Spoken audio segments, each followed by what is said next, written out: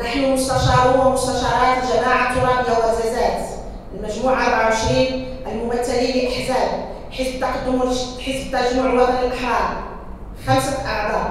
حزب تقدم الاشتراكية خمسة حزب الحركة الشعبية خمسة حزب الآثار والمعاصرة اثنان حزب العدالة والتنمية اثنان حزب الاستقلال اثنان حزب الاتحاد الاشتراكي واحد حزب البيئة والتنمية واحد حزب ديمقراطية الجدود واحد.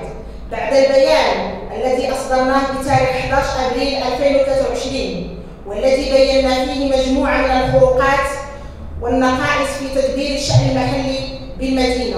وبعد أن سجلنا بكل أسف عدم تجاوب سيد الرئيس مع مضمون البيان بل على العكس من ذلك تمادى في تدبيره الأحادي معطلا بذلك كل فرص التنمية على المدينة اضطررنا في خطوة تصعيدية إلى مقاطعة الدورة العادية ليوم 3 ماي 2023 على أن المجموعة ستعقد ندوة صحفية يوم 9 ماي لتسليط مزيد من الضوء على حيثيات المقاطعة وعلى كل ما يتعلق بحيثيات تدبير الشأن المحلي بالجماعة الترابية والزلزال السلام عليكم ورحمة الله تعالى وبركاته.